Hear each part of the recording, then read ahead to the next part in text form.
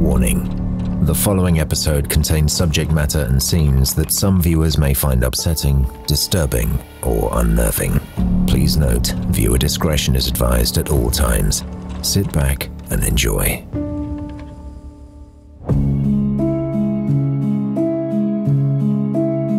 I recognise that many people who previously have been carrying on a lawful pursuit are going to be inconvenienced. I know that. I regret that. I apologise for that, but that is the basis of our decision. And it has been taken, ladies and gentlemen, because we believe not just because of those tragic events at Port Arthur, they were the culmination of a long series of events in this country which have demonstrated, as has been demonstrated in other parts of the world, that there is a clear link between the volume of powerful weapons in the community and the extent to which they are used in an indiscriminate manner. I don't pretend for a moment, ladies and gentlemen, that the decision that we have taken is going to guarantee that in the future there won't be other mass murders. What I do argue to you is that it will significantly reduce the likelihood of those occurring in the future.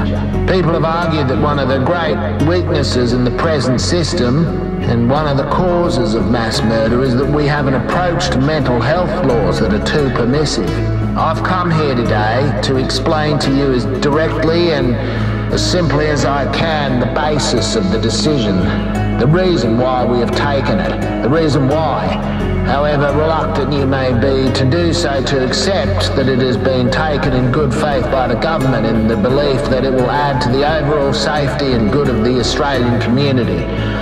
That is the greatest and ultimate responsibility of any government, of any Prime Minister of this country, whatever his political stripe, is to take decisions that if he believes or she believes will benefit the overall national good. That is the reason behind this decision.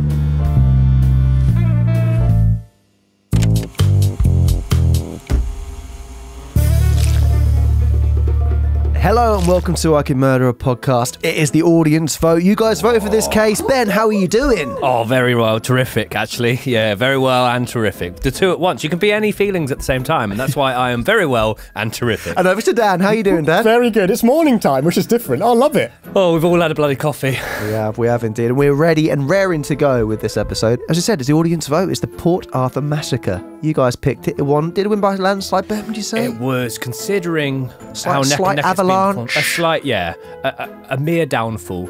yeah. a bag of shingle. Yeah, it beat it by a bag of shingle. yeah. And did you know much about this case before researching it? I'd heard of it and I'd seen a few people request it before, either on Patreon Mm. or in a comment section. Didn't know anything about it, and Yeah. now I know a lot about it. And I think I saw the infamous infamous interview before Yeah, years yeah, ago. I didn't really know didn't know that it was linked to this case. So um, yeah, it's a it's a very interesting one. Can't wait to share it with you guys. And just a quick reminder, guys, on our store we have released the casualty stock of the t-shirts and the sweatshirts, and they're priced at half price. So get them while you can. Yeah, get and they're, while you can. they're available in all sizes because uh, stock is an issue for us at the moment. But the casualty ones got got plenty of anything. And spooky season just being around the corner, guys. We've got a spooky little bundle available exclusively now for the next few weeks over at the store, which is icmap.store. Sorry, I was watching Tom. which is over at icmap.store. You'll find yourself a spooky little Halloween bundle, which includes a mug, a candle, And a tote. tote. A tote because it, it has to be. You know, we were like totes have to be in there. Yeah. so uh, we put it in there as well. So and also for your trick or treating, that would oh, be bloody great. I didn't even think of that. Yeah. Yeah, like that, Ben. Always think outside the box, aren't you? So, yes. And also, because because yeah, we are talking about Halloween. We, we have got. I bought the guys some uh, wiggly worm sweets, uh, warheads. Uh, apparently not as sour as, as they wanted, so they were a bit disappointed with me. But Flavors are great. We're not even sponsored by warheads. But there you go. And also, guys, by the time we're recording, we're going to be reading the cult applications next episode. So please do get them in because we're very excited to welcome people into the cult of ICMAP. Yeah, I'm excited about that. But at the time of recording, the episode where you've told them about the cult isn't live yet. Yeah, so- we've got no emails. Yeah, we've kind of We've really. got some emails, but they're a bit. But we're very excited to welcome people into the cult of ICMAP. And this week it's the audience vote, and uh, how we've arrived there is by the Instagram followers deciding the case. So if you're not already, why not follow us on Instagram, Twitter, at Could Murder a Pod. We've also got TikTok, Facebook. Just search I Could Murder a Podcast and we will pop up over there. But we've got two more big episodes after this week, and you'll know all about it if you're following us on one of those social media platforms. And just a reminder, when this series is done, we'll still be continuing posting on Patreon minisodes during our break. So if you want to see more content during that time, that's the place to find us.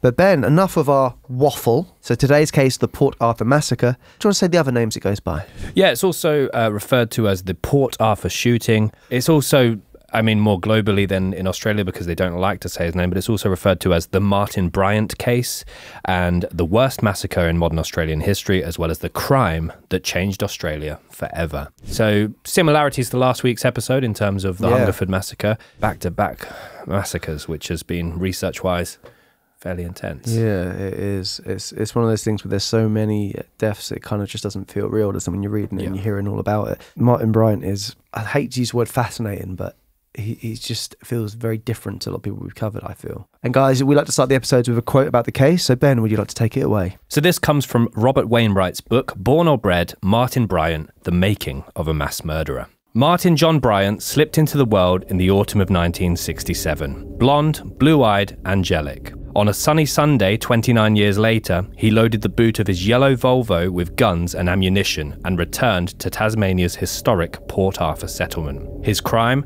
the world's worst killing spree by a lone gunman, horrified the nation and changed Australia forever.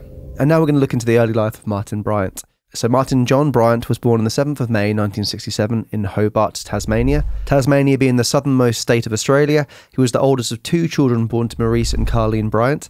Martin had a younger sister by the name of Lindy. The family raised Martin in the quiet suburb of Lenah Valley, which is located to the southeast of the island of Tasmania. Almost half of the island is a national park, with many lakes, bays, mountains, and forests. Lenah was originally known as Kangaroo Bottom, later Kangaroo Valley, and also Sassafras Valley. Sassafras? Sassafras. Sassafras. Sassafras. Later Kangaroo Valley, and also Sassafras Valley. Sassa.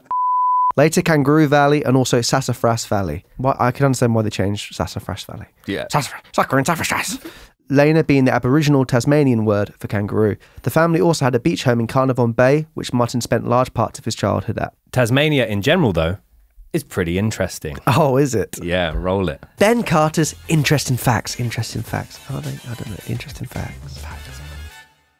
So Tasmania is basically Australia's version. I mean, this is a loose comparison. I don't want to There we go. offend anyone, but it's basically Australia's version of the Isle of Wight for the UK viewers and listeners. And it was initially called Van Diemen's Land by British settlers in 1803. So they decided to use the island to transport uh, British prisoners to. And due to the very harsh and isolated island environment, they basically turned it into a bit of an Alcatraz or Guantanamo Bay. They essentially felt that nobody would be able to escape the island to the north. South, east, and west, it was it was covered in water. it was an island. Uh, but yeah, just really treacherous ocean. Fuck me. It's not like you- That's where there's originals. So they formed the town of Port Arthur to use essentially as a convict settlement. They built up large prisoner bases there, with many of the original buildings still standing to date. You can also, which I found a little bit interesting, you can also find native British plants and trees on the island, unlike any part of the mainland. the convicts take some seeds in the pockets. seeds, yeah. On the shoes. Scattered them. Yeah. As in, like, at the bottom, the sole of the shoe, got a bit of seed in there. Yeah. In all of that, I had to ask myself, where does the Tasmanian devil come into all of this? Looney Tunes Taz was inspired by the real life Tasmanian devils, which I think basically look like little rat pigs. Little rat pigs. Little rat pigs, I think yeah. that's doing them a bit of a disservice. I think they're quite cute. Mixed. Some are happy looking, some are very steer clear of them looking. Um, oh, rat pig is mean. Is it? Yeah. Sorry, They're guys. quite cute. I'm just looking Are at they? them now. Yeah, Wouldn't want one as a pet. They can be quite. probably not. They've got sharp teeth. It looks Yes. Mm, I don't know what, what I would say they look like more, but Rat pigs is all right, or did I say pig rats? you said rat pig. Oh well, I've written pig rats. It's like a dog. It's like a dog mixed with a rat. Dog rat. Yeah.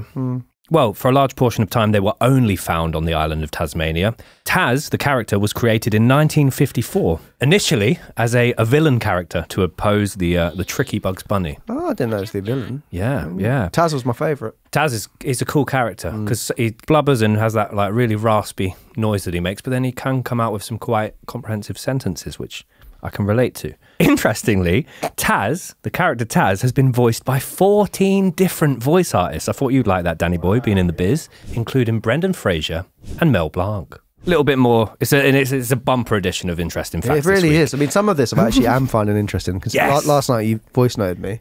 Oh no, don't play it.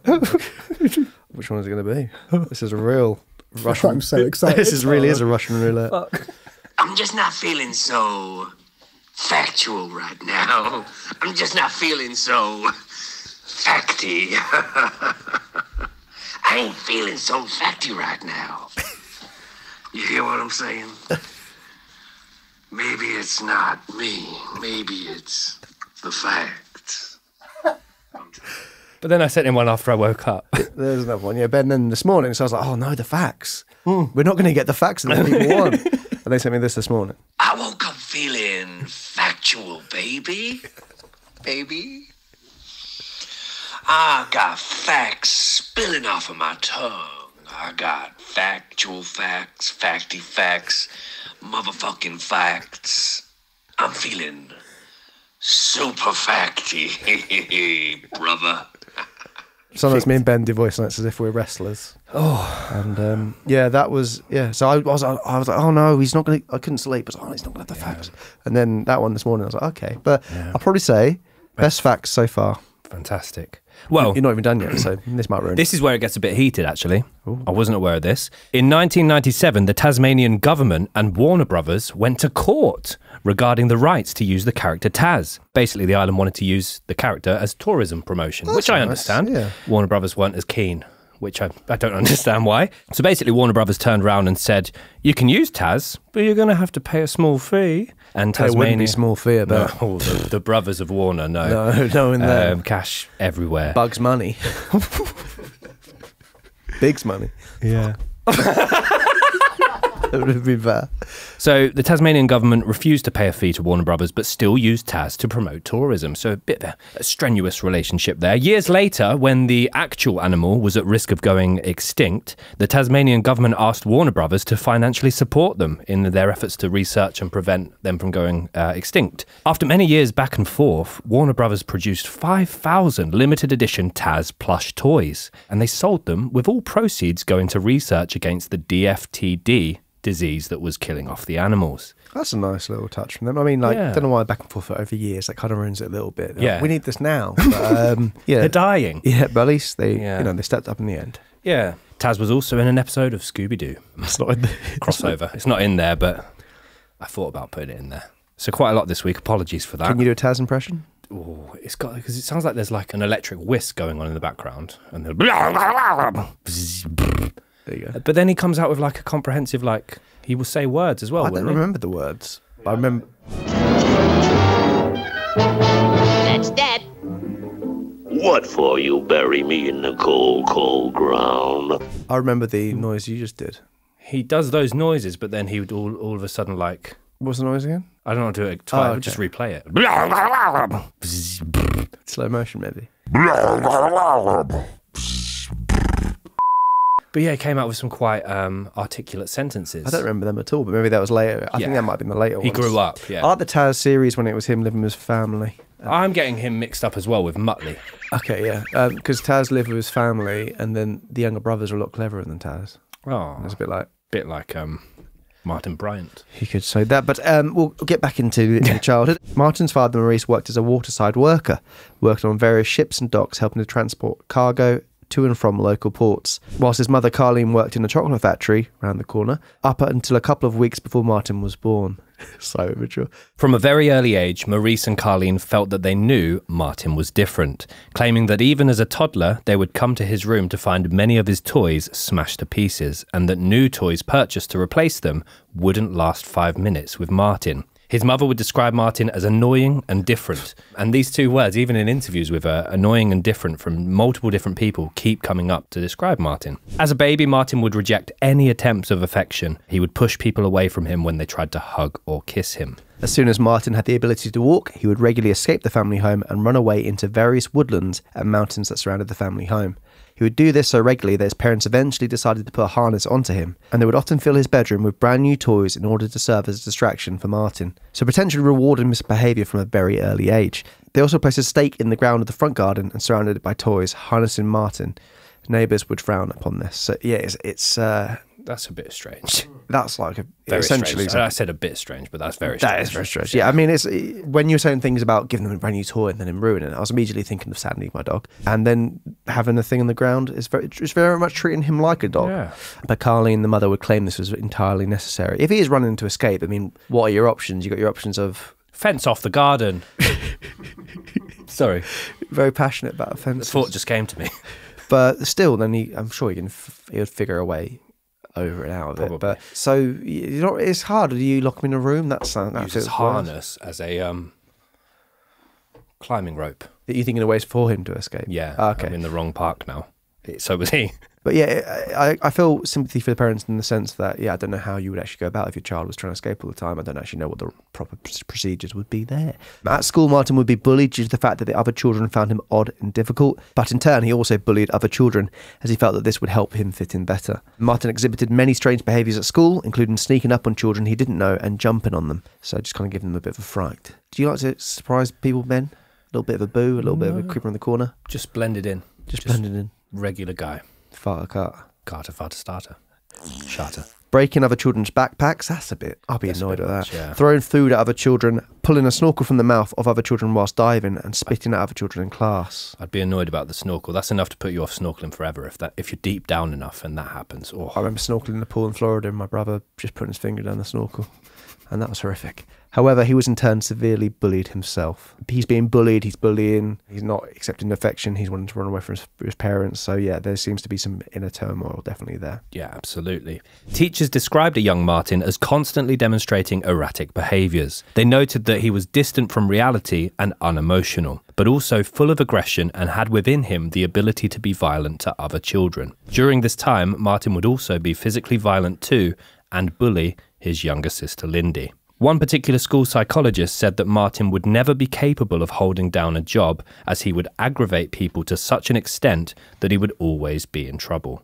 So, too annoying to be employing Martin. In a way, kind of. I, I see what you mean.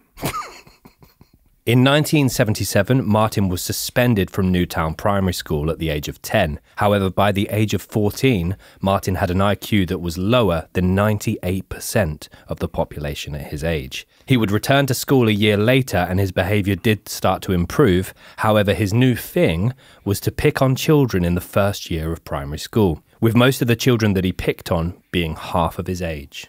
Mean, isn't it?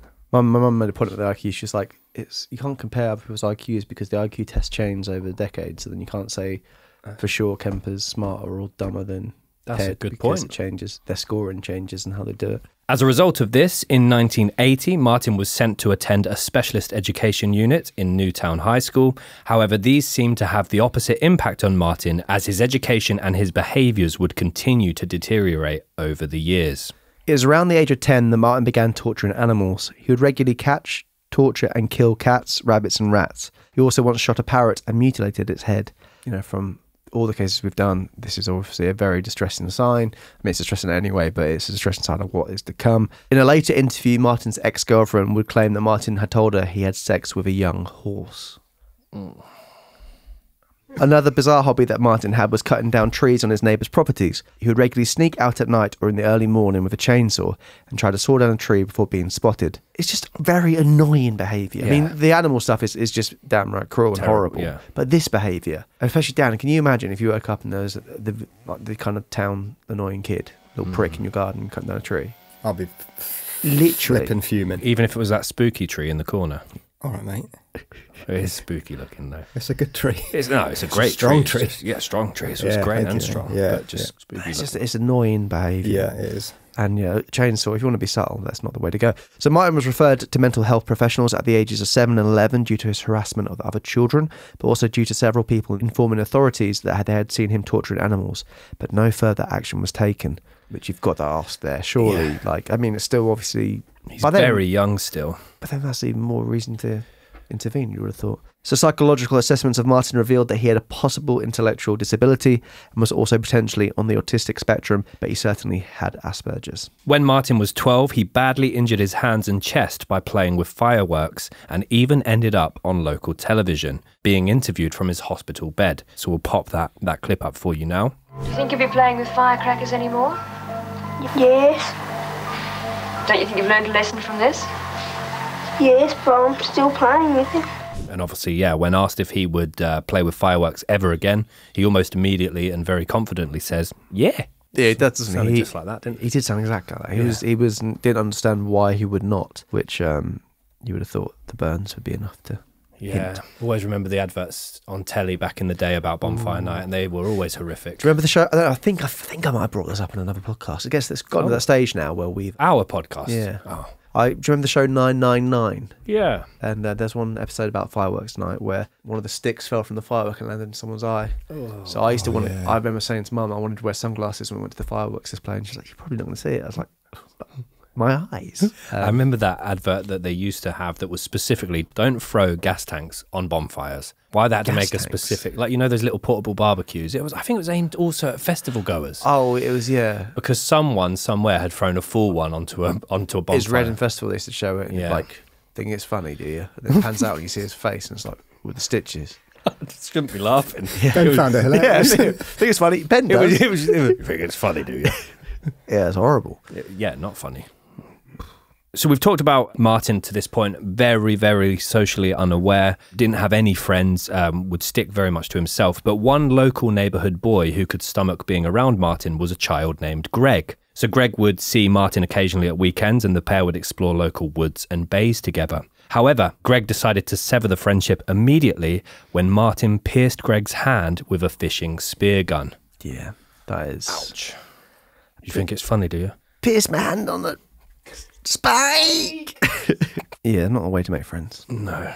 So, as a teenager, Martin was a loner who struggled to fit in. He couldn't understand why people didn't like him. He couldn't understand why people didn't make time for him. He decided the world had something against him, and this would remain in his mind for the next several years. He became more of a recluse as a teenager and ended up dropping out of high school at the age of 15. So, just before Martin dropped out of high school, his father Maurice purchased him an air rifle at the age of 14. Why do parents do this? Why do you, if you have someone who's, you know, if your son's like, he's cutting down trees in the early morning, he's killing cats and animals, maybe don't buy him an air rifle. Yeah, this was the same case uh, last week with the Michael Ryan. But then he wasn't displaying this kind of behaviour to this extent. Like, uh, fair enough, he was. I mean, he, he used the rifle to then shoot a cow in a field. But before that, he was, you know, he was being physical to his But mother. no, no, I agree. He was probably he displayed less concerning behaviours Yeah. compared to Martin at this point. Certainly, So the gun absolutely thrilled Martin and became obsessed with taking his guns to the garden and to the local wooded areas for target practice. Spending almost all of his time with this gun, Martin became a fairly accurate shot, something that is quite discomforting. He found the first thing in life that he was really good at. so on different podcasts I've listened to, different documentaries I've watched, they talked about he would always go down to the local creek with his gun and he Mm. would hide in the woods, waiting for joggers to go past, dog walkers, and he would just take pot shots at them. How this behaviour isn't reported at this point, Yeah, is exactly. And punished is, is wild. baffling. So after dropping out of high school, Martin worked a series of odd jobs, including as a gardener and a handyman, Martin's mowers. But you just made that up. yeah, Okay. but he received very little custom from locals who were aware of him. I'm not letting you mow my lawn. You shot my dog. No, Cut, that's you cut down the fucking tree can. so. Yeah, uh, the the local neighborhood very aware of him, wanted to steer clear of him, and again, in turn, that's probably making him feel even more rejected by society, Yeah. even though it's kind of of his own doing, kind Definitely. of. He also used to skin rabbits that he killed with his air rifle and attempted to take them door to door to sell. the kid that's you know been troubling the, the street walking down with skinned rabbits just in his hand going door to door mm. and apparently he would knock but he wouldn't just he would gaze into the, the kind of doorway look into the house a bit it's just it's horrible horrible image As a result, Martin was assessed for a disability pension, with the assessing psychiatrist noting the boy cannot read or write, does a bit of gardening, and watches TV. Only his parents' efforts prevent further deterioration. Could be schizophrenic, and parents face a bleak future with him. Imagine your parents It's getting just a- that. yeah. Well, you're gonna fi- find your future gonna- with him bleak. It's a, it's going to be a struggle.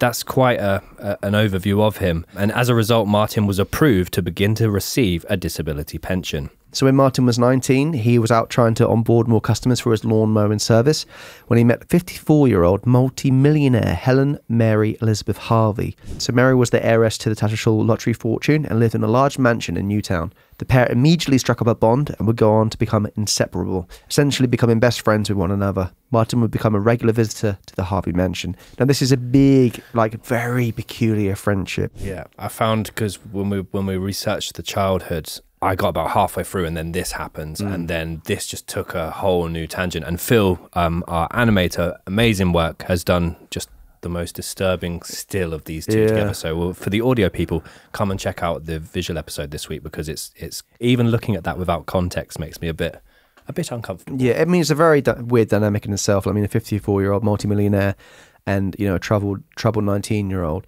I mean, we're going to go on to discuss it, but Helen herself had her own difficulties, and putting them together was just. A, I think you couldn't get an odder couple. I mean, they they would go on to say there was nothing like sexual or anything between them. They literally were just best friends. Mm-hmm. It was a platonic friendship. So Mary wasn't your typical millionaire. She was incredibly eccentric and lived with her aging mother in their Newtown mansion, which was kept in a hideously poor condition. She was said to have incredibly poor personal hygiene and also made very impulsive purchases with the family's money. She employed Martin to help with the lawns and helped to look after the family's many pets. Now, this is, imagine this. I mean, fair enough, it's a mansion, but they had 14 dogs living on the property, mainly inside the house, and 40 cats living in the garage of the property. Mansion or not, that's too many. And is that a case that she started off with like four and just let them do their own thing, and then over the years, I mean, the cats with 40, I can't imagine. Yeah, imagine. that's a lot but of the- cats. I just the smell. You can smell that, yeah. which is horrific. So Martin absolutely loved Helen, um, and the freedom was mutual. In the summer of 1990, an anonymous person reported Helen to the health authorities, and upon further investigation from arriving medics, ah, this is disgusting, this part, Helen was found to have several untreated and infected ulcers, and her mother, Hilza, had an untreated broken hip, which had been broken for almost two years. To combat this, Helen made her mother, Hilza, sleep in an upright position on a chair in the family's kitchen. Hilza was immediately rushed to hospital and treated. She was then placed into a nursing home, but unfortunately died several weeks later at the age of 79. The arriving medics also reported Helen to local authorities regarding the state of the mansion and health concerns over the many animals it kept. A clean-up order was placed on the decaying mansion, and, perhaps as a sign of how close Martin had become with Helen, Martin's father Maurice ended up taking long service leave from his job in order to help clean up and restore the mansion together with Martin. I think at this point, regardless of how much trouble Martin has caused his parents at that point, maybe there's some part of the parents thinking, hang on a minute, quirky millionaire, they bloody love Martin. We're in here. Well, yeah, I think the idea of like, I think it would cross their mind of he's, he's not our problem now. But also, yeah, I guess it's keeping him out of trouble to an extent. But it wouldn't last for yeah, very long. yeah, will I it? mean, so- I'm not throwing any fire at uh, Maurice or Carleen um, at this point, but I imagine he would have been very difficult to raise. So after the cleanup had been completed, Helen invited Martin to live with her in the mansion. Martin and his parents agreed to this. So the 23-year-old moved in with the 58-year-old. As Hilza was no longer present, Helen invited Martin to help her spend some of the family's fortune, and they quickly began spending their money erratically on extravagant purchases, including more than 30 new cars. In less than three years, that's nearly a car per pet, and multiple houses and properties, including farms and barns. I don't know where they could park them. The garage was full of fucking cats. Yeah, that's true. But no, these barns and farms. Well, that's true. It's such an odd relationship, isn't it? So as Helen and Martin spent the majority of their time together shopping and eating lunch at local restaurants, Martin was reassessed for his disability pension. This time, the psychiatrist noted, Father protects him from any occasion which might upset him as he continually threatens violence. Martin tells me he would like to go around shooting people. It would be unsafe to allow Martin out of his parents' control. So he's 23 at this point. They've clocked that he's been going around saying he wants to cause harm to people, literally saying shooting people. Isn't this a time to slightly intervene in some way? Baffling. So in 1991, the RSPCA confiscated many of Helen's animals, noting that no animals could be kept on the property. So Helen and Martin purchased a 72 acre farm called Taurusville, which was in the town of Copping. But they weren't copping off with one another. Locals found the pair to be very odd once they moved in, with many of them becoming uncomfortable at the pair's behaviour. First of all, when I when I first listened uh, to other podcasts about this. I thought it was Touristville, and I was like, Mm. that's quite a rubbish name for a cool place, but if it's cool. Um, but it's Taurusville, like the uh, like the zodiac sign, Yeah, or like the Pokemon. or like the what's the Pokemon? Tauros. Is that oh The bull. oh very cool. Which obviously is based on the zodiac sign. Yeah, but then moving into uh, the, the town of Copping, I imagine most of the locals thought or assumed that they were mother and son. How wrong they were. So neighbours in Copping recalled that Martin always carried an air gun with him and often fired it at tourists as they stopped to buy apples at a stall on the highway, which is just yeah. It's creepy, isn't it? Yeah, he also as well his outfit of this time, despite the fact that he was, uh, you know, in the uh, in the company of a multimillionaire, he would always wear white overalls and just place a red cardigan over the top of them. He liked to wear a cravat at times, didn't he? I'll get to that. Yeah. Oh, we'll get to that. Yeah. Sorry. So talking about outfits, big shout out to Gully Garms for dressing us this series. Uh, we dressed up in. I've got Ben's got a fish, a swordfish, and I've got a tiger Marlin. on the t-shirt, a marlin. Is that a marlin? Everyone? Don't know. And then uh, there's some lovely overshirts as well. So don't forget to go over to Gully Garms and use our codes Kill Ben and Kill Tom for thirty percent off your purchases. There's lots of great garms over there. Yeah, we've been buying a few extras on the side as well. So why not? And use can the I just say, I've got some stats just in. Oh. Uh, Kill Ben is running at 600% more than Kill Tom. So I am now starting to worry about that though. Yeah. Yeah. Yeah. But that is that people supporting me or wanting to kill me. By the sounds of that, my code hasn't been used at all. It has. It has. Guys, I mean, as I said, I don't know. I'd take it as a win you using either of the codes, but obviously it is a competition. So Ben is absolutely kicking my ass. Mm. Yeah, Um, it's just a lot of people killing me now, which I'm thinking about more. I'm sure if the code was "Go on, Ben," it'd still be the same, Ben. I'm sure. reckon? I think it would be. I don't think people using it go. Take that, Ben. This is gonna hurt him. But yeah, no, uh, we appreciate anyone using those codes. But Yeah. if you can, please kill Tom. um, anyway, back to. I don't want to be 600. percent That's a lot. that, yeah, that does That sound. does feel personal. Anyway, uh, let's get back to the case. So he would um, regularly roam about the town with a, you know, his air rifle strapped to his back, and he would shoot tourists. He would also late at night roam around the neighborhood, looking into surrounding properties and any houses that had dogs in the gardens that started barking at him. He would begin to fire his rifle at them.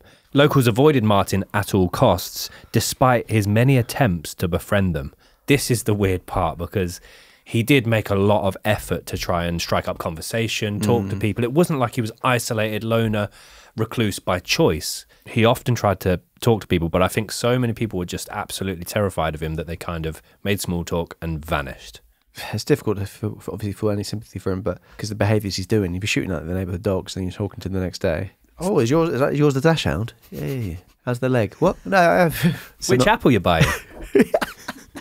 How'd you like them apples? that would have been, yeah, I should have. That's all right. So on the 20th of October 1991, Helen was unfortunately killed in a car crash when a car veered into the wrong side of the road and collided with another car head on. So there are a lot of different opinions about how this happened and why it happened, as Martin was also in the car with her, but he survived the crash. Helen even asked in her will that Martin be buried next to her when he dies. So Martin was hospitalized as a result of the crash with serious injuries to his back and neck, but he made a full recovery. And during the time of his recovery, he was interviewed several times by the police, as many believe Martin played a significant part in the crash. They believed this for two reasons, predominantly. So, number one, Martin had a known habit for lunging from the steering wheel when Helen was driving, and they'd already had three accidents as a result of this. She often told people that was the reason why she never drove faster than 40 miles per hour. Martin said about this, he was like, he felt he didn't do it for any particular reason. He just lost control. He's suddenly had the urge to do it. He grabbed the steering wheel and lunged to it. The fact that that is odd. a known habit. Yeah, is that- just, yeah. And also, and please don't link this to the fact I was late this morning, but at one point I was approaching a roundabout and I, I slowed down to 40 miles an hour. That's still fast. Like, if she's limiting herself to 40. That's too fast to go to. Well, no, I was well, well, well approaching the roundabout, Oh, okay. but I still thought at 40 miles an hour, I could still easily get some air on that roundabout. Or if I went straight into a lamppost, that would be enough to sort of ruffle me up. So her limiting to 40 miles an hour, I would have limited slower if I had Martin in the car. Yeah, that's fair. And number two, Martin was listed as the sole benefactor in Helen's will and inherited over 550,000 Australian dollars worth of assets belonging to Helen as a result of her passing.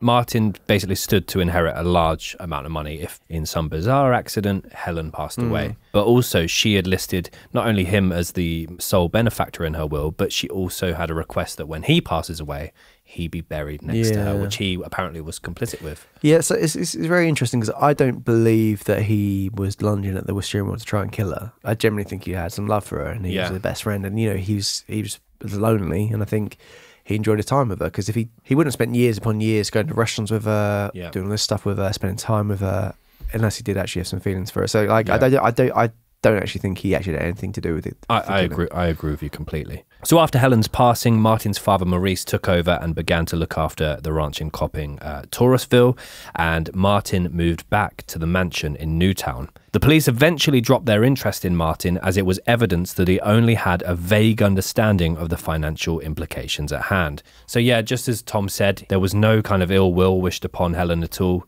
and he also didn't understand that he was due to inherit the money. So Mm. he, he couldn't quite comprehend that. As a result of his inheritance, his mother Carleen offered and was also appointed as a member of a guardianship order, which basically placed the money into the control of a board of trustees. The guardianship order was said to have been vital based on Martin having diminished intellectual capacity. So basically, this this uh, board of trustees could allow how much he had, when he Mm. had it, and what the purchases yeah, were for. kind of pocket So- money, but also in the way they wanted to have the money there for when they pass on. Yeah. He's going to have the money there to be looked after as well. Yeah, absolutely, to moderate his his spending, and and it worked uh, for a period of time. This is where I started to feel really, really sorry for Maurice. So throughout all of this time, I mean, Martin's an adult now, but throughout all of this time, uh, in the background, Maurice had been struggling silently with his own mental health issues for many, many years, and he actually began to take antidepressants not long before he began looking after Taurusville. So imagine all the hardships of of raising Martin, obviously different issues with his Mm. behaviors, the worry and anxiety you must have about your Constantly, child. yeah. you wouldn't be able to switch off, would you?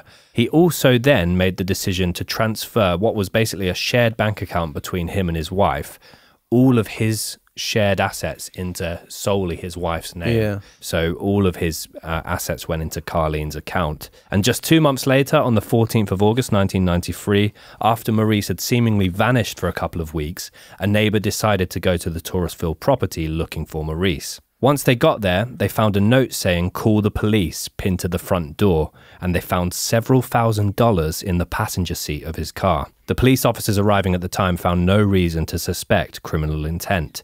So, another interesting thing about this is that just days before Maurice went missing, he would regularly leave the family home and go up and, and look after the ranch in Taurusville. That particular night, he would always just call them to let him know, Yeah, to yeah. let them know that he'd arrived.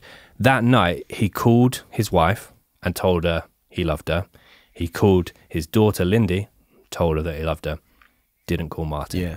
And unfortunately, yeah, It's very um, telling, isn't it? yeah, absolutely. So a, a search begins uh, to try and locate Maurice or, or potentially Maurice's body. And during this particular search, Martin arrived in Taurusville. He wasn't too worried about the fact that his dad was missing, and he even began asking female police officers out on dates whilst they were looking for his father. Yeah, he's laughing, joking around, and just kind of being a bit creepy on the sides. And if your father's gone missing and there's a worrying note, it's absolutely baffling behaviour. Yeah, and he again socially completely out of his depth, not very aware of, of how he's behaving, what he's doing. So as a result of this, police were looking at him very kind of Yeah, as you would, yeah. yeah, yeah. So police searched Taurusville for Maurice uh, without any luck.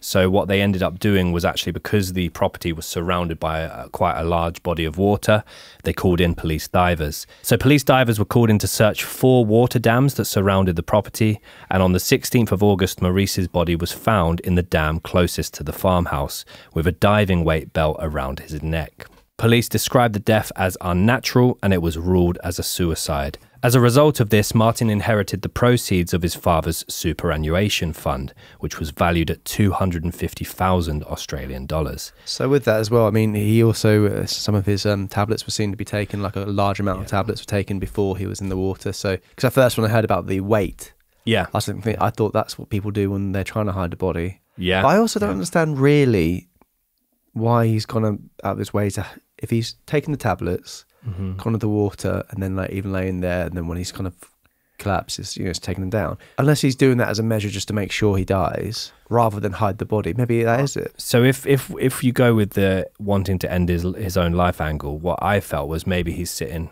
towards the end of a pier or something like that, doesn't want to experience the drowning, so takes the sleeping pills, has the weights already strapped to him, falls into the water, peaceful death. Because it was like a lot of pills. It wasn't it like they had a box of thirty pills on him, but only less than half of them were still in the Yeah, box. uh, yeah. It's, it's just yeah. I've not heard. But again, if it was someone else, Yeah. could very easily empty half a box and Yeah.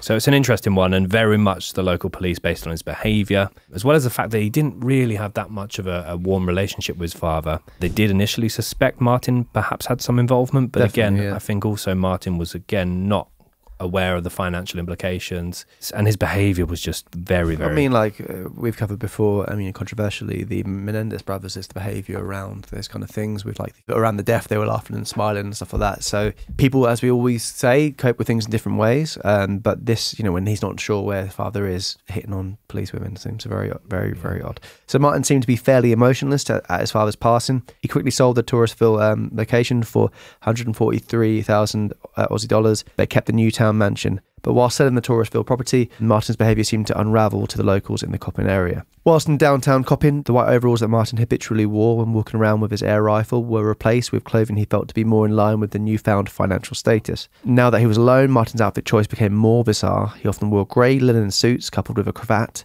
lizard skin shoes, and a fedora whilst carrying a briefcase during the day, telling anyone who would listen that he had an extremely well paid career. I would have believed him. If he's wearing that outfit, but it just sounds like he should be in Dallas. A cravat, I mean, a cravat in a day to day Um, outfit is. I'm just imagining um, when they take Dwight to, to buy that model that he wanted to buy, and he walks Yeah. in with a pipe and the cravat. I think he's wearing like a dressing gown, but yeah, cravat, lizard skin shoes, and a grey linen suit. I can confidently say I don't think I've ever seen anyone pull off a fedora. Well, we could try one week, maybe. I don't want to wear a fedora, man. Uh, With these headphones, oh, We could get one for Jacob now that he's hatless. yeah. That's it, ladies and gentlemen. The hats are out of stock. yeah. So Martin also often wore an electric blue suit with flared trousers and a ruffled shirt to the restaurant he used to frequent with Helen. So here's a question, boys. You have to wear one of those outfits. Are you going with the electric blue flared trousers suit, or are you going with the grey linen suit, cravat, lizard skin shoes, and fedora? I'm going for a blue blue suit. Oh, I was going to go for that. Tom. We Well, both wear it. No, Okay, there's there's great. one of each. No, no, we'll both go together. Wearing the same Fedora. One You- of you will be naked You wear the fedora. And nothing else. I'll be wearing the ruffled. No, I'll be wearing the whole suit. Look, There's one electric blue outfit, and Yeah. there's one nice little grey linen number. we said I'm having the electric blue and he's having the suit. oh, perfect. I thought you wanted the electric blue. He's just he took him one on the chin. So the restaurant owners now get a bit spicy about Martin, talking about his outfit. It was horrible. Everyone was laughing at him, even the customers. I really felt suddenly quite sorry for him. I realised this guy didn't ha- really have any friends. They don't actively laugh at someone just wearing a bit of a, a crazy outfit. Yeah, I'm just trying to think of what he's seen. I mean, it might have been Dallas, like you say, but like, what what's inspired him to think this is going to help me? Well, the ruffle shirt and the blue shirt is very Austin Powers, but this is before Austin Powers, isn't it? So Yeah. so yeah, very very odd. So, with both his father and best friend Helen dead, Martin became increasingly lonely and increasingly isolated. And from 1993 to late 1995, he visited various overseas countries 14 times. So, he loved the idea of, of traveling. It's probably like he think he thinks that's what a rich person do. They, they go traveling around the world. Yeah. Martin is said to have hated the destinations that he traveled to as he found that the people there avoided him just as they did in Tasmania. However, and this is where I did, this is the only time I felt a little bit sorry for him, but then he immediately makes it creepy. So he enjoyed the flights as he had the opportunity to speak to people that sat adjacent to him who had no choice but to be polite and talk back with him. And these are long haul flights. These are like Australia to America, Australia to Europe. Because he would get there and he'd only stay there for a few days, and he'd book like a, you know, a couple of weeks. Be like, a few days. Oh, actually, no, I'm going to go back. Yeah, but yeah. yeah, he enjoyed the long flights, so he could just people couldn't leave, and they had to speak to him politely. He would later go on to take great joy in describing some of the more successful conversations that he had with fellow passengers. And I just think that's, I feel, I feel so bad. This is where he makes it a little bit creepy. Um, creepy, I think, not a little bit, just just out and out creepy. so, on one particular long haul flight to America, a young lady sat next to him. They engaged in conversation throughout the majority of their flight. I mean, that's the last thing you want as well. If you're on a plane for Oh, 12 yeah. hours, headphones on, I'm going to sleep. Definitely. He is ready for a chat about life. So, this female sits next to him, chat away for a majority of the flight. When they're landing and waiting to get off the plane, she heard him call his mother and say, I've met the girl I'm going to marry. She's probably hoping, I hope it was in Europe and not on this flight. But yeah, that very odd behaviour. I imagine it's one of those calls that intentionally he wants her to hear it. Mm. No, you see the wrong text message and you text the girl when you're meant to be texting your friend about the date. You're like, oh, yeah, no, you got on really well. I really like her. Oh, whoops. I didn't mean to text you. And they're like, oh, that's okay. I Yeah? think it went well. I think it went well as well. Go, oh, really? Did you mean to send that to me? They're like, no. I'm talking about the date I went on before I met you. I was like, oh, yeah. but yeah. In late 1995, Martin became suicidal after deciding that he had had enough. He stated, I just felt more people were against me. When I tried to be friendly toward them, they just walked away. Although he had previously been little more than a social drinker, Martin's alcohol consumption increased rapidly. His average daily consumption was estimated at half a bottle of Sambuca and a bottle of Bailey's. That's a horrible mix. It's a horrible, horrible. I mean, Sambuca, but anyway, me personally, that I'll have a Bailey's. If But- someone yeah. else is, I don't really go out my way for one. Yeah, but then I, I bet the Baileys was inspired by Helen. And I Yeah, bet, and yeah, I Sambuca. I, don't really that. know what Sambuca. Or is the only thing left on the long haul plane trolley Yeah. little miniatures of Bailey's? And he'd also drink port wine and other sweet alcoholic drinks, which I imagine a hooch or something. He did have an on and off girlfriend, though many believe that she simply chose to be with him due to the amount of money that he had. His girlfriend's name was Petra, and she met Martin after seeing an advert he had placed for a gardener for the mansion. Interesting, isn't it? Full circle, really. He Yeah. started off as the mansion gardener. She didn't do a lot of gardening. She maybe she was thinking maybe in a few years' time I'll be advertising for a gardener. Yeah. For someone who's not completely stable, if that, that is fair to say, isn't it? He is not completely stable at this point. He's inherited, you know, and back then, you know, he's got about 800,000 Australian dollars. That's God knows how many million now. But he's stayed there. He's not, you know, that's a life changing amount of money. He's Yeah. still kind of living the same life to an extent. I mean, I know he went on to spend money on scuba gear and, and ammunition and stuff like that, which we'll talk about. But he didn't like, and had the flights around the world, I guess, but he's not Mm. made a massive, like, if, if that's me, I'm going to go like off the grid for a little while. Oh yeah. Yeah, like maybe the Scottish Highlands, oak framed house in the in the woods, off the grid, and uh, maybe a few years later, You wouldn't go off the grid. maybe you like the idea of the off the grid. Yeah, I like And the you- idea. And maybe a few years later, you You'd be get a search- package. You'd be searching hashtags for places to go take pictures for Instagram. Hashtag search. Yeah. Oh, I might try that. Do it. We did it when we were in New York. Where's good places to take Instagram Oh, I did pictures? that for food. That was I did you. it for the food. That's you and I found the best slice. that's literally best slice. But yeah, anyway, I'm off the grid. A couple of years, people wonder where I am, and a package arrives for you. You'd have blown yourself up before you could send the package. Oh no, I forgot to sign it. So we're going to talk about just uh, his state of mind in the build-up now to the Port Arthur massacre. So according to Martin, he first had thoughts of conducting a mass shooting three months before the Port Arthur massacre and had slowly been building up an arsenry as well as an action plan in the 12 months building up to that fatal day. So he would spend thousands of dollars on scuba gear, surfer gear and hunting gear. And at this point as well, he grows out his hair very long. He likes the idea and the the look of, of the surfer lifestyle. However, he would only sit on the sand and never actually go into the water. So he's lost his best friend in Helen. He's lost his father. He's very much on his own, with the exception of his girlfriend. He's built up a great deal of resentment. Despite all of this money now, it, it can't buy him happiness. Mm. And he spirals completely out of control and begins to plan his own mass killing. Yes, so this takes us to Sunday, the 28th of April, um, 1996. But also, it's worth noting that on um, March 13th, 1996, the Dunblane massacre happened, and it's six weeks prior. And some people believe the news of this really kind of inspired him to do something similar himself. So a lot of people believe that's what kind of was the final thing that made him go, "That's what I'm going to do." So before we jump into the timeline for this week's case, we want to say a massive thank you to our friends over at Dead Happy. Now, Ben, we're in a cost of living crisis. I'm not sure you're aware of that. Oh, I'm very aware. But we don't want to be in the cost of dying crisis too. You're exactly right there, Tom. That's because Dead Happy only care about who you are now and not who you're going to be in 25 years, which is a, a scary thought. Let's have a think of what we might look like. In 25 years. Yeah. A couple of silver foxes, maybe. 25. So what, how, you'd be. Ooh. Same age as you. Mm. yeah, depending on the month, I'd be the same age as you. I don't know. Yeah. I don't know. Yeah. So we appreciate right now people are watching their pennies wherever possible, but it's still really, really important that you're covered. And the guys over at Dead Happy Life Insurance make that as simple and as affordable as possible. And it is very simple to get set up over at Dead Happy. A few simple questions, and if you already have existing life insurance somewhere else, it's very easy to move over to the real place. Absolutely. So the you 25 years from now will be thanking the you today. And I'm still thinking about what we might look like 25 mm. years from now. It's, it's a scary thought. In fact, it's terrifying. But it's a less scary thought if we imagine the fact that we are both insured. Yes, indeed. Yeah, if we weren't Fully yes, insured. yes, completely Yeah. Insured to the gills. So why not head over to deadhappy.com and use our code murder for three months free and start living safe in the knowledge that you are covered. Not only will you be supporting yourself and your future self, but you'll be supporting your friends here at I Could Murder a Podcast. And we appreciate you very much. And back to the episode. So yes, then we're going to go into the timeline of the Port Arthur massacre.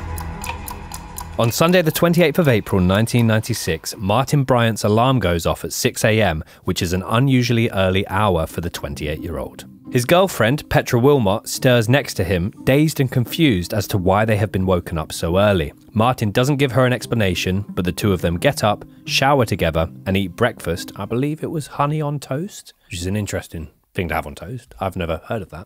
Uh, it's fairly standard, I believe. The more you know. Before Petra leaves to visit her parents. Once Petra has left, Martin packs his car with a large sports bag containing various firearms and ammunition, as well as attaching his surfboard, which he has no intention of using, to the roof of his yellow Volvo. So yeah, it's very odd. He he was known to drive around with a surfboard, go down to the beaches like we said before, but he didn't surf. Just sat on the sand. Just an odd flex to do. Just like, just all for the look, and then just it's Yeah. very odd. It's like someone having an acoustic guitar in the house and they play. Definitely. That wasn't And actually, approximately- that wasn't actually a dig at you, but Well, I'm going to learn. oh, Might it's an electric acoustic as well. Thank you very much. At approximately 9:45 a.m., Martin sets his house alarm, gets into his car, and sets off on the 90-mile journey towards his destination, the historical site of Port Arthur. And for anyone that doesn't know what Port Arthur is, it's essentially a very well preserved convict site, uh, which is now an open air museum. It attracts a lot of visitors, 250,000 per year, Ben. That's a lot. A lot, yeah. Due to the historical draw of the place, as well as the surrounding nature the site has to offer. So after Martin left the property, he would make a few stops along the way. He went to a petrol station and bought a cigarette lighter. He went to a different location and bought some tomato sauce, and then he went to one and bought a cup of coffee. But he stopped along the way three different times, and he also bought 15 pounds worth of petrol. So the police afterwards believe he did this to kind of play with them a little bit. What's the significance of him buying ketchup on this day? And it's just Which is quite elaborate for someone of, of such a low IQ. one thing we will get into is just how he loved the kind of cat and mouse playing with the police. Mm-hmm. It's something he seemed to absolutely thrive in. That part is very odd that he managed to do that, and I think you've got a quote of something he actually says to someone during these kind of interactions. Yeah, so he's also placing himself at all these different scenes. He's trying to interact with a lot of different people. And one of the last people he saw before moving on to the cottage, uh, well, has alleged that Martin said something along the lines of, I'm going to the Isle of the Dead to shoot some wasps. So, WASPs was a, a- an abbreviation for White Anglo Saxon Protestants, and the Isle of the Dead is a small island graveyard not far from Port Arthur, which is accessible via the ferry. So, yeah, quite quite a statement there. He also made quite a few inappropriate comments about overseas tourists, particularly Japanese tourists. So, yeah, he's placing himself at lots of different scenes here before moving on to the cottage. At around 11am, Martin arrives at the Seascape Cottage, a guest house run by married couple David and Noelene Martin. Martin has a personal vendetta against the Martins as he believes them to have maliciously purchased the property before his own late father, Maurice, was able to do so. They were obviously managing Martin's assets, but this particular guest house was one that Martin's father very much had a fondness for and, and plans of purchasing. So Martin believes that the impact of this event helped to drive Maurice to his death three years earlier and therefore blames the couple. So just before 12:30 lunchtime, Maureen and John Arthur pull up to the Seascape Cottage, thinking that they'll take a look at the property as a potential staycation destination. They are met by Martin in the driveway and are immediately struck by his strange demeanour. They ask politely whether they may be able to look around the guest house, but Martin tells them that they can't because his parents are away and his girlfriend is inside the house. It's a bit odd for a 28-year-old to be like, you can't look because my parents aren't here. Yeah. My girlfriend's inside. Very weird uh, answer to Yeah, say. I don't think they were buying it either. I think No. they sense they sense a strange vibe from him. Certainly.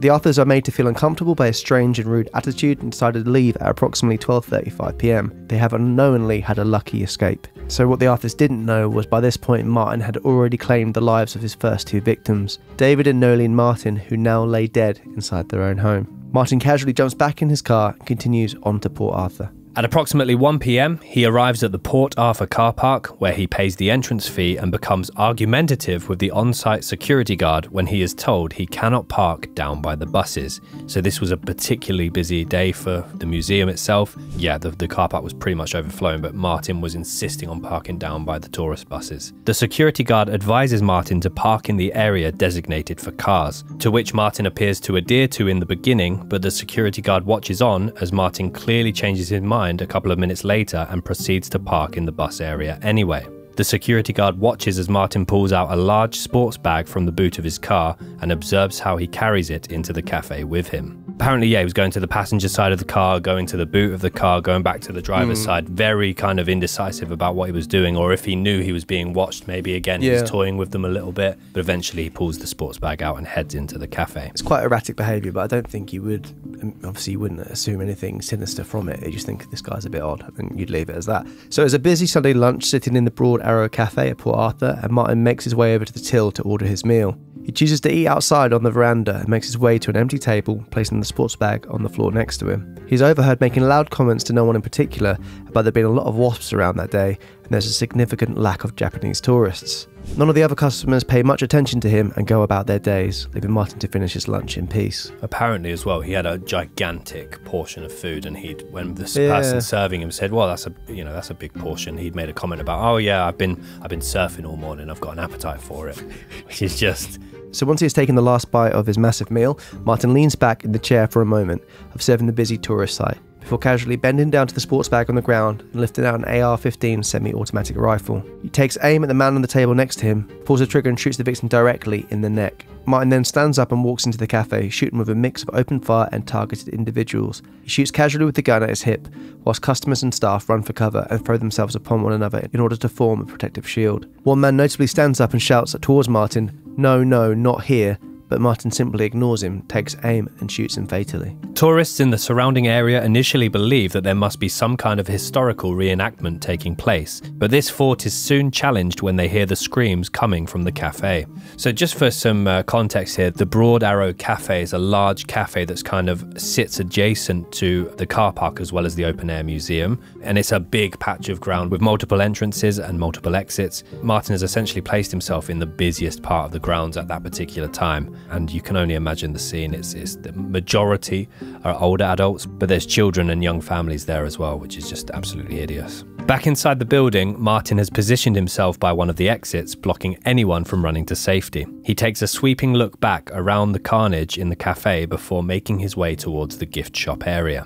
In the first 15 seconds of the attack, Martin has shot and killed 12 people and injured many more, which is absolutely staggering to even process. Yeah, and as, as you mentioned there with the reenactment thing, that there's reports of a lady who was walking along and the basic bullet hit just on the floor in front of her, and she was so impressed by, oh, this reenactment is so. How are they able to do How, does- how does it look so real? Yeah, but, which again is just terrifying. But it's just that's the last thing in people's minds is something like this will be happening. Well, a place like that as well, it's un- it's unusual Mm. compared to you know other events we've covered. Definitely, yeah. So, as the gift shop door to the main veranda is locked, the customers who were in there when Martin initially opened fire have taken shelter where possible and are frozen in fear when they see Martin making his way towards them. He shoots the two cashiers on duty before turning back and heading towards the cafe once more. He picks out his target and shoots without a second thought. Yeah, like you said, it's the amount of people in this short amount of time and the amount of damage can be done with a semi-automatic rifle. It's just who needs that? and just like day to day. So he decides to swing back round to the gift shop and shoots three more people before then heading out to the cafe's veranda,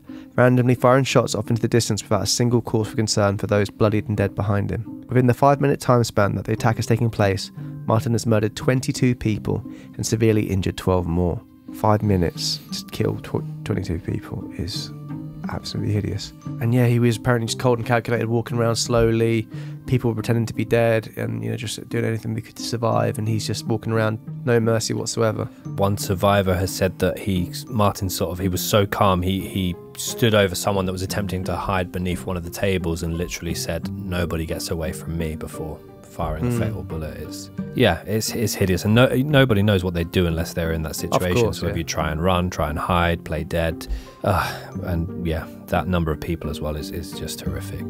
Just after 1:30 p.m., the first emergency call is placed, with lots more flooding in in close succession. Martin steps away from the veranda and makes his way towards the coaches, where his car is conveniently also parked. He stalks and taunts people running for cover in the car park who try in vain to hide behind and on buses. Martin decides to swap weapons and makes his way over to his car and pulls out a military style semi automatic 308 FN rifle to continue his attack with. So, yeah, that's a point. So, some tourists were making the decision to get back on the bus and try and hide in the bus, but he would literally go into because all the buses had open doors and they were, hmm. you know, just sat there stationary. He went on and he found more victims in each bus. He found people hiding in the car park. He saw people in large groups kind of huddling together and he would just fire pot shots into them. There's one particular uh, group of people which was with one of the lead security guards of Port Arthur, where a young lady, uh, Nanette Mikac, who was there with her two daughters, basically they were all talking amongst themselves while the shooting was taking place. Some of them wanted to stay hidden.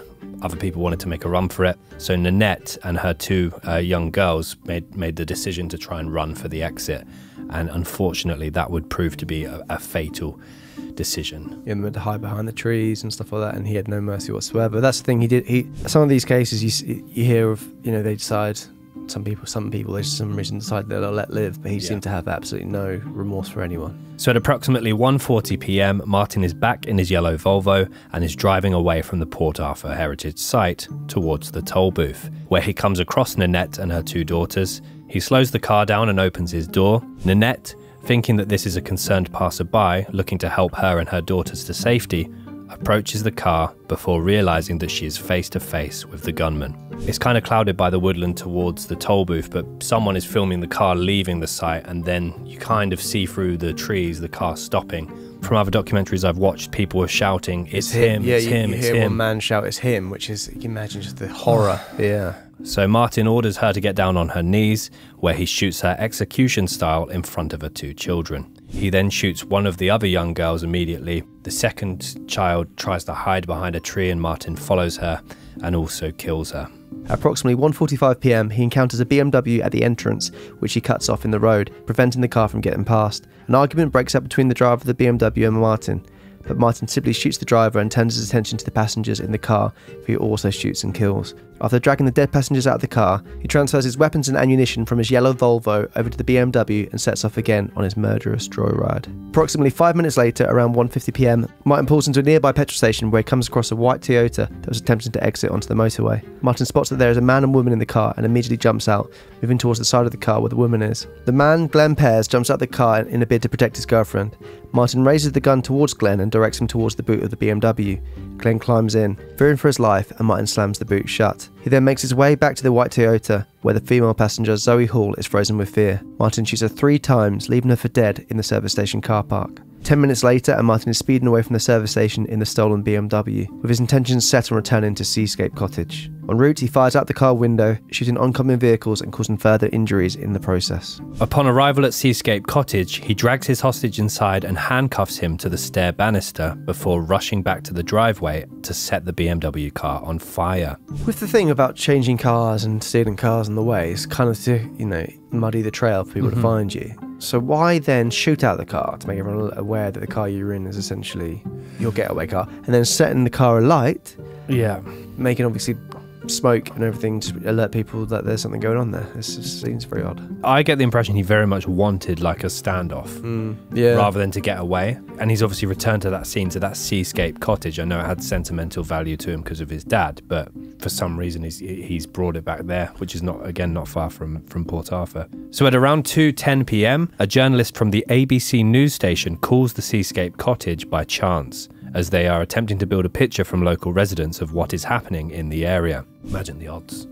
Not realizing that the gunman himself is on the other end of the line after he calls himself Jamie, the reporter goes on to ask Jamie if he knows what is happening. Martin chillingly responds, Oh, lots of fun, and then informs the journalist not to call again, and if she does, he will shoot the hostage. By this time, the police have locked onto Martin's location and arrive at Seascape Cottage at 2:30 p.m. in an attempt to negotiate with a clearly agitated Martin, who keeps firing at random out of the property, preventing police from being able to approach. An hour later at 3:30 p.m. and the first negotiation call is connected to Martin inside the guest house. He tells the police that it's like being on a Hawaiian holiday inside the cottage and that he needs to go shortly as he's making cups of tea and sandwiches for the hostage. So he obviously didn't spend a lot of time in Hawaii. Not a lot of sandwiches, Well, there's that as well. cups of tea. Yeah, Yeah. but just maybe iced tea. We'll play some of the audio as well. It's, it's he's obviously absolutely loving the power here and loving being a bit. He seems to be playing a comic book um, villain here. Yeah. He's just everything he says is so over the top and kind of just yeah. He's just buzzing from all this attention and it's very very odd behaviour. And the fact that later, many, many days later, both he and his own mother would say, it wasn't even Martin. I just find that out, an outrageous claim to make. And there are some conspiracies which we'll go into. But yeah, he's, as Tom said, he is loving the power dynamic here. So another interesting thing to point out here is basically there wasn't a lot of police stationed around this island at this particular time or in this particular area when these phone calls were coming in. So the two policemen who decided it'd be better if they if they went into different separate cars to go and try and find the assailant, which is an odd thing to do, but when you think about the time then, driving in two separate cars to be able to cover more ground quicker and also just be able to respond to different you know different um, sightings etc. So they split up and then one of them saw the bellowing of the smoke from the BMW and they drove over to um, the Seascape Cottage and when they got there they were being shot at so they kind of hidden away in a bank there and they'll be there for many many hours to come. So to Um, go back to your point about him lighting a fire, Mm. I think that's intentional almost for them to say, look, this is where I am. Here I am. Yeah, Yeah, yeah. Come, come and get me. Yeah, And obviously, they'd never dealt with anything like this before. yeah. Anything even close to it. Apparently, Martin would just randomly fire out from the windows. It wasn't definitely was aiming for aiming for them, but it's a time before obviously social media, so this kind of news of as to where things were, it was all done via phone calls, but a lot of people making phone calls at the same time. And information can be kind of um, mixed up. So yeah, situation is the police were there for a very long time. This was ongoing, just shooting out the window, they're scared to move in fear of being shot, and eventually more police would come and help to kind of manage this situation. And they've also got a hostage to worry about as well, which just Exactly, adds yeah. to the complexity of the of the issue. So police attempt to continue their negotiations with Martin. They do not seem to be getting through or connecting with him on any level. They are fearful the situation may not end well, and at 11:30 p.m., a coroner arrives on the scene. The standoff continues throughout the night, as does Martin's random firing of weapons. Police do not ever return fire, as they run the risk of also potentially harming the hostage if they do so. As the next morning creeps in, the police lay in wait, watching for any signs of movement from the cottage. So during the, um, you can't even really call them negotiations, can you? Because there was no real back and forth between the two. But his only real demand was to be transported via an army helicopter to the local airport. But yes, the police didn't meet these demands, not surprisingly. At around 8am on the following morning, a fire breaks out at Seascape Guest House. So Martin thinks this is the time, you know, another distraction he could do for the police, and he thinks it's time he can make a run for it. But he accidentally sets himself on fire and runs out, and that's when he's tackled by the police, which is, you can imagine that's quite the scene. So the police tackled him with his clothes and hair on fire at approximately 8.30am. He is immediately detained by the police, and it's important to note that at some point during the 18 hours of negotiations, Martin shoots and kills Glenn Pears, making the body count within the guest house a total of three David and Noelene and Glenn. Martin is suffering from some horrific burns as a result of catching fire and is immediately transferred to the Royal Hobart Hospital, which unfortunately is where the majority of the injured and deceased from Martin's shooting rampage has also been sent. Which you can imagine just the anger and, oof, yeah, for anyone there wanting to just exact revenge on him. But I think, yeah, they, they cornered off a section for him to go in and not, no, none of them were to know that he was there. Yeah, there's that quite a famous photo of him sort of being apprehended by the police. You can't really, it doesn't look as if he's been on fire. Hmm. Is that an okay thing to say? It, he does. I don't, I don't really know what that means. Hope it hurt though, mine. So the total death count from that fatal day is 35 people, with the youngest being f- just three years old and the oldest being 72. There were husband and wives, brothers, mother and daughters. It was just, yeah, absolutely horrific. Many more people were also significantly injured. Martin Bryant remained in hospital for a week before being transferred directly to prison, where he was detained until his trial. After the police conducted a thorough search of his house, they concluded that this was certainly a planned attack as they came across boxes of ammunition, gun cleaning equipment, and ammunition belts. However, when questioned by his own mother on the events of the 28th of April, Martin initially denied all knowledge, saying that he had been out surfing all day. And this is something that he and his mother would go, would both go on to uh, to claim was the case. But obviously, I mean, there's video evidence that he was there. There's people talking to him on the phone. During another police interview on the 4th of July 1996, Martin admits to owning the guns used in the attack and for also taking someone hostage, but maintains that he did not enter the Port Arthur site that day nor shoot anyone. And the thing that he was adamant of when he first arrived there was that he wanted to get on the 1:30 p.m. ferry to go out to the Isle of the Dead. But obviously, he never actually even ended up getting a ticket for that. It's very dubious information that he's given to his lawyers and his mother at this point. So it's quite an infamous video of Martin being questioned by his lawyers and, and being spoken to, where he's very much playing a game, laughing away, chuckling away. He's even like seeing some newspapers and magazines which have written about the case, and he wants to know like, oh, how many were they killed? How many they said uh, have, have they said that has been killed? Yeah, And- he's but he's a also smile on his face. but he's also saying, well, I wasn't there. It sounded like it was a bad day. Hope they get who did it. Yeah, that kind of thing. And then he thinks they've rolling the camera, and he says this. Have found the person that holds goals. I don't find it very funny statement at all, mate, to be quite honest. Should have put that on recording. I'm still recording at this present stage, so that is on recording. Yeah, he says, I hope you, that you get, I hope you get that person. It's me. And then he said you should have been recording that. And they're like, we Good are. job you weren't recording or something like that. Yeah, no, well, we are recording, Martin. And then you see his face change. Yeah, so he he's playing a game massively with them, constantly just. But yeah, it, that's a fascinating viewing, disturbing viewing. But his his interview is available online. After continuing to deny that he was involved, Martin eventually gives in and admits that he had been planning the attack for weeks. Starting with the Martins, the owners of the Seascape Cottage, he said he felt they deserved their deaths as they were the worst people in the world. So, after numerous psychological tests and disagreements between mental health professionals, it was declared at Martin's sentencing that the accused is not criminally insane. There is no evidence to support that he has schizophrenia. The accused revels in the notoriety he receives, which, yeah, like we said within that interview, he's soaking it all in and he wanted to be the kind of number one killer. Like, he wanted to get the most kills. And They Uh, bring they bring some of his weaponry into the room as well, and he looks infatuated with those Mm. rifles. Like, oh, that's a n- nice little gun. And like you said at the start of the episode, it's fascinating, and he is fascinating. There is so much depth to this case, and so much that you can look into. But he is also just one of the most despicable. Like the, just the way he behaves when Yeah. he thinks the cameras are off, and when whilst they're on. It's, it's, he's a hideous person. apparently, in one moment, he'll be playing up like to the nurses, who've had him very unsettling, of course. Like, he'll be one moment laughing and kind of like being very smug about all the kills, but then next minute going, Miss, could you get me a drink? I'm hungry. And like acting like a kid. Like, he would go from being very childlike to mm-hmm. very kind of sinister.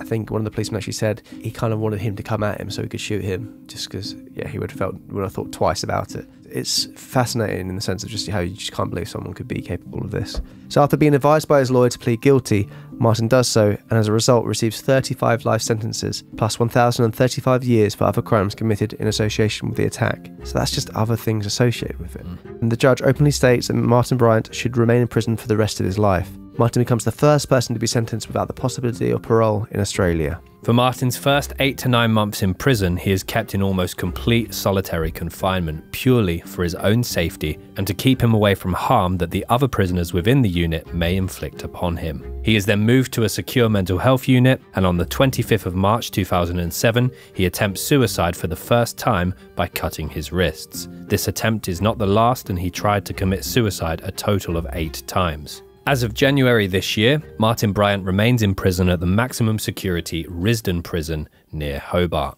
So that was the Port Arthur massacre timeline. We're now going to get into some of the aftermath. The immediate aftermath of the Port Arthur massacre called for a severe crackdown on weapons in Australia. The government established new laws under the National Firearms Agreement that heavily restricted the purchase and use of weapons, as well as introducing a national gun buyback scheme, which there's some staggering Oh, pictures that- of, of yeah, all the the, photo is insane, isn't it? yeah, of all the of all the um, weapons being bought back. I found an interesting quote from Barack Obama talking to Marc Maron about this case. He said, "When Australia had a mass killing, it was just so shocking. The entire country said, "Well, we're going to completely change our gun laws," and they did, and it hasn't happened since. Which is, you know, compared to obviously America, which is he's talking about there. They thought we can't have this happening again. Let's make make make a change. There was some people um, in rural parts, you know, hunting, thinking, "Why are we being punished for one person's actions?" But I think most people believed it was the best way was just to kind of clear out as much as they possibly could. Yeah, much like Hungerford and Dunblane over here. The Port Arthur site reopened shortly after the attack. However, the cafe and the gift shop were soon knocked down, and to this day, it remains as a memorial area designed for reflection. Tourists still flock to the site to this day, but they are advised to refrain from asking members of the staff directly about the shootings, and they were referred towards the commemorative plaque at the memorial site instead. Yeah, imagine going there and asking people about it. When I went to Vegas, like literally a couple of days after Yeah. That festival shooting, it was not that I was asking questions. Obviously, we- we went and we had a look, but the ta- oh, did I tell you about the taxi Mm. driver who was just like, "Ask me anything, man," and he was like a bit of a conspiracy theorist. But I guess you're gonna get with any case, and especially this case. I mean, I hadn't heard of it before, really, in any detail before the audience vote, so I Mm. wasn't as aware. But there must be people with that morbid curiosity who, even if they do go somewhere where it's a, a place to pay your respects and, and to have like quiet quiet reflection, I'm sure you're still going to get the odd handful of people that are like, so did that happen here? Did this happen there? Where was he? Where did he park? Just listen to a podcast. Yeah, that's great advice. So, conspiracy theorists state that Martin Bryant was not solely responsible for the gun attacks. There's always, I feel like with a mass shooting, there's always this conspiracy at Port Arthur that day, and they believe that the whole thing was orchestrated in a bid to restrict gun laws. And we've heard that many, many times before. There are also reports that Martin Bryant couldn't have been the shooter, as he is apparently left handed, whereas the shooter was reported as shooting with his right hand. Yeah, another thing I heard was that because he was shooting from the hip and he got so many hits, it's like that's a really extremely hard way to shoot and kill people. So people believe that they can't have been him, just just him shooting because the amount of deaths that happen. Are they not going to listen to all the um, eyewitness accounts and the video footage of just Ben? I'm just hey, whoa, that's not, my, that's Sorry. not my theory. Sorry, man. In popular culture, the 1996 events have been recently depicted in the 2021 film Nitram, which is Martin backwards. Do you notice that, Ben? Yeah, it's in my notes. Is it? That's brilliant. Yeah. Well done. Thank you. The movie is based on the life of Martin Bryant and the backstory and lead up to those fatal shootings. Actor Caleb Landry Jones plays the role of Martin, of which he won the Cannes Film Festival Award for Best Actor. That again is links back to that thing we said at the start, where locals and, and nationals won't even say his name, so that's Mm. why they decided to call it Nitram. The film itself received quite a lot of pushback from Tasmanians who felt it was distasteful and feared it would reopen old wounds and further conspiracy theories. It was actually made by the same people that made Snowtown. Oh. Yeah, which received similar controversy at the time. Very good film, Snowtown. So yeah, maybe I need to go uh, watch this. I need to watch. Yeah, No, I need to watch. I need to. And then you've got wasps and now spiders as well. So spiders in Snowtown and wasps in Port Arthur, in a way. So we talked about different assessments made on Martin Bryant. In an examination after the massacre, forensic psychiatrist Ian Joblin found that Bryant had a borderline intellectual disability, scoring an IQ of 66, which is equivalent to an 11 year old. I did an extra little bit of digging this week, which I'm annoyed at myself that I didn't bring this up during the episode last week where we covered the Hungerford massacre. But for perspective on this case, which I found extraordinary, the Hungerford massacre claimed one more victim than the Columbine school shootings and one less victim than Nikolas Cruz, the Marjory Stoneman Douglas shooting. Whereas this case that we've covered this week, the Port Arthur massacre, claimed two more victims than both the Hungerford massacre and the Parkland shooting combined. Then I, I did a bit more digging and I wanted to ask you boys. Dan's already clicked the link, so I can't ask him, but I'll ask you. I mean, I'll, I'll throw to Dan, but if he gets the right answer, no one can trust it. Of the 10 deadliest mass shootings in history, how many of them do you think took place in America? Nine. Two. All right, well, we can't trust him. It's two. That's surprising. Yeah, Vegas and um, the Orlando nightclub shooting in 2016. So, as with many of the, the mass shooting cases that we cover, there is so much detail. There are so many different accounts from survivors, witness testimonies where the, the, they talk in more detail about the exact footsteps of the perpetrator, but also the heroes of that day. There's so much other material out there in terms of reading materials, podcasts, documentaries that, that are available. We definitely implore you to check those out. But it, it will it will go down and still goes down as to the case that changed Australia forever. It was one obviously we both kind of had limited knowledge of before going on with the research for this one, but it's I found this one really, really particularly disturbing and upsetting. Yeah, the Um, the lawyer from Martin Bryant would go on to say, you know, he still. That's what an interview with him, and he said he still feels very affected by the case, and Yeah. he still kind of felt he felt some weird sympathy for Martin. Yeah, he just he just got in his head basically, and he felt manipulated. He felt like he was another victim of him. I mean, there's reports now of Martin in prison. He said his mum said he's gained a lot of weight, and online apparently gained weight from uh, delivering sexual favors for chocolate. So uh, What way to go. Yeah, there's that very recent photo that's allegedly of him. Yeah. Does not look like the same person because yeah, that was the other thing in the 60 Minutes Australia. They talk in a lot of detail about how he was this, you know, blonde-haired, blue-eyed boy with seemingly the world at his feet. He was a handsome guy growing up, and he Mm. could have potentially had it all. His internal self did not match his exterior self, Mm. and I think that's where there's then obviously he's had very little consequence as a result of his actions growing up. Well, there's red flags about him saying he wants to go around shooting people, Oh, and you know that kind of thing. It's it's yeah, it's easy for us to say, obviously hindsight and everything like that, but you can't help but feel there's some moments there, definitely where people could have it could have been intervened, and hopefully there's things in place now that will you know be intervened in their situations. So Ben, is it time for a little bit of light relief? If we if we may. If we may. So time for some little lookalikes. What does it look like? That looks like a bit like that. So it looks a bit like this. Straight off the bat, mine uh, this week are terrible. So there you go. Okay. Yeah, I'm not happy with either of mine. One of them's too complimentary. You actually pointed one out and said, "I bet this is yours," which it wasn't, which was better than the ones I picked. No, really? Yeah, so that's, that's how bad it is. So halfway through this episode, we went to get some lunch, and I saw Erling Haaland, yeah. And I thought that was Tom's. I was pretty sure that was going to be his lucky. No, it's not. Mine's worse than that. But do you want to start, or do you want to start with mine because they're bad How many have first? you got, sorry? I've got two. Oh, I've got three, so we could go one me, one you, one me. Why not? So uh, this week, I've got mixed feelings about my three. I think one you might like, specifically you, Tom, might like. But my first one, this lookalike found me. Yeah, Okay, and I'll yeah. elaborate And a mouthful that. of water there. Yeah. So I was sat doing my research midweek. I've got, a had new, the- I've got a new one now. Okay, fantastic. I bet it's going to be the same as you now. Go on, sorry. sat doing my research midweek, flip open Instagram. I follow James Smith, personal trainer, who I think has a very similar voice to Dan. I think they've got this, they share the same tonality, which is a compliment to, to both of them because both got great voices. Anyway, he had a fitness model called Sean Stafford on his podcast, and it was at the very top of my uh, Instagram feed. While I also had a Port Arthur doc on the telly, and I had to do a double take. Uh, It's the, it's the face. did you, did you double take thinking that um, he was interviewing him? No, I just thought that's a bit weird. Isn't looks it? a bit more like uh, Torres. but- Yeah, Torres vibe. Yeah, Oh, even he looks like Torres. Yeah, him. him yeah. So that's my first one. Yep, nice. Uh, the one I just thought of then is not right. Doesn't look good. It's just a blonde haired guy. Who is it? It was Robbie Savage. Um, this is a massive compliment to um, Martin. Uh, it's just, and this is the one I thought you might have. It's just Heath Ledger, which is just lazy. It's just an Australian guy with, with long hair. I think Heath could have played him well. Yeah. Okay, my next one is uh, actually uh, one of the survivors, Ian Kingston. I actually get a, a really big Tony Soprano vibe. Oh, he looks more like um, one of the other uh, bosses. Oh, Johnny Sack. Yeah, but like him. A little bit. Or the face. My last one, if you bleached this guy's hair, Yeah. it would help a lot. Dan Hawkins from The Darkness. Yeah, that's pretty good.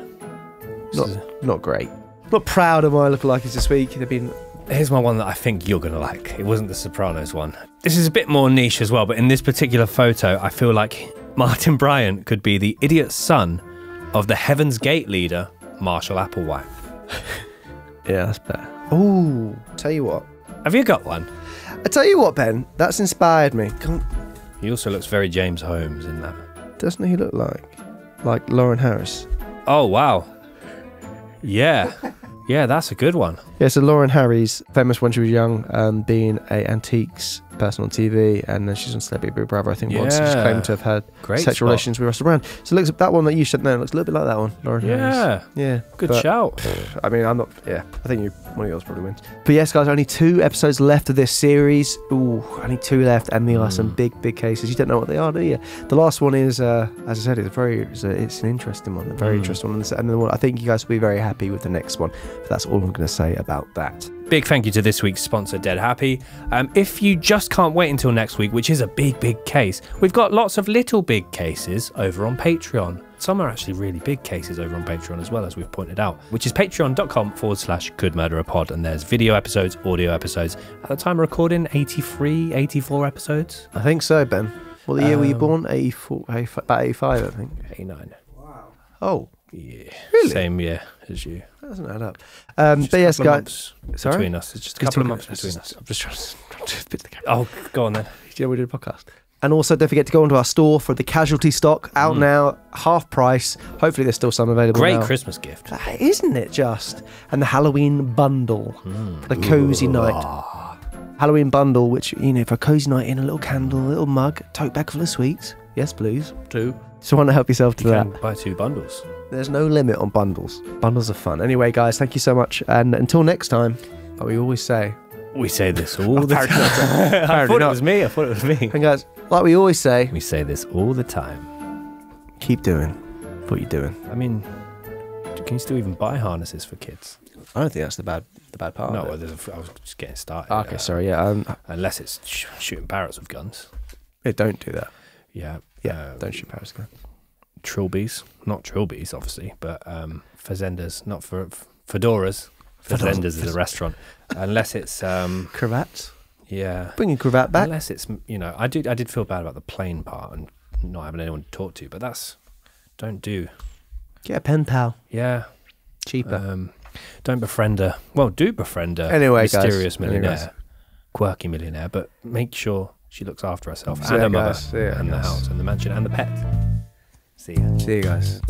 All best. Two pip. Before casually bending down to the sports bag on the ground, I lifting out an AR-15 semi-automatic rifle. Sorry, did you just fart, Ben?